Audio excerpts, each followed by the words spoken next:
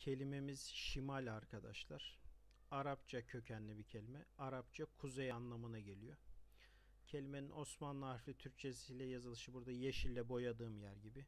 Kelimeyi oluşturan harfler şın, mim, elif, lam. Kelimemiz şimal, Arapça kuzey demek. Kelimeyi oluşturan harfler şın, mim, elif, lam.